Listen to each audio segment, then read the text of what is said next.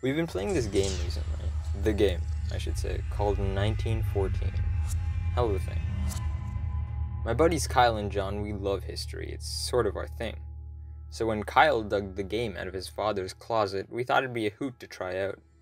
An unplayable board game from the 70s, 200 little cardboard squares marching across a grid of hexagons tracing all the rivers, mountains, and cities of France. Each counter has three little numbers on it for attack, defense, move.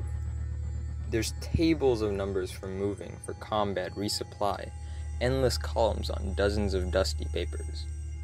John and me were the Germans. Kyle takes Frenchies. He's the only one who can make heads or tails of all the numbers, so we follow his lead. The game starts slow. Setup takes about 3 hours and the pieces move about half an inch a turn if you're lucky. Still, it's a blast. Belgium goes under real quick, Holland never stood a chance.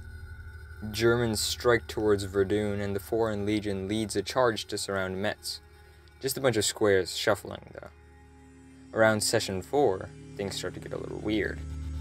French infantry encircled around Antwerp are running low on supplies, and Kyle tells us he's going to start eating the horses of his cavalry division to keep the frontline troops fed.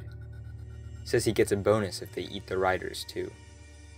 We try to laugh that one off, but he cracks open the monstrous rulebook and sure enough, the cannibalism efficacy chart says it plain as day, though God knows how often that particular contingency was expected to come up.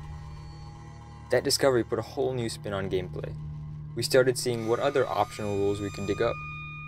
The Osirian appendices, right after the play by mail section, changed my whole Brussels offensive. It's amazing what the hoisted ribcage of an enemy does for the morale of your troops, at least according to the designer's notes. Turns out there's all sorts of mechanics that give you an edge for the right price. Blood sigils let you add one to your rolls, but only if the blood is fresh. Hollowed gore gives you an experience bonus. Marshal Foch swore by it. Barbed wire is tougher when woven with bone. Who knew the First World War had so much to do with arterial logistics? We weren't happy about sending the second line troops off to the slaughterhouse, but I think the improvement of our position around Flanders more than justified that particular decision. By now, I hear the armies marching at night, but Kyle's the one who gets real into it. He doesn't just address the day's sacrifices by name, we all do that now, it negates a bunch of debuffs. He's begun tracking the turns on his skin and eyeing John's vertebrae he announces the construction of a pyramid of skulls large enough to encompass Paris and visible from the moon. Keeps producing page after page of optional rules in a frankly suspicious red ink. John just sits and hums. Hasn't been the same since we ate Bucephalus. We're on to something special.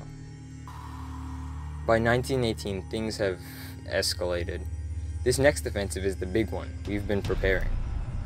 What was Belgium is painted red, the dikes retaining human viscera instead of water. That's crucial to our success. The viscera, I mean. Our armies of millions are long gone, just a few hundred thousand now, but what thousands? The femur of your closest friend strikes more true than any bullet. Vests of Belgian tendon are as good as Kevlar in the hands of our tailors.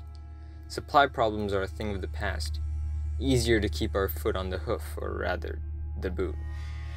Each German carries a hundred souls within his gullet. I don't even want to think about what the French carry there. All but the best have been expended. Our modern soldier is frightfully effective, but it requires a lot of ingredients. Summer of 1918. Kyle sits atop the Parisian ossuary and mocks us. There isn't going to be a 1999.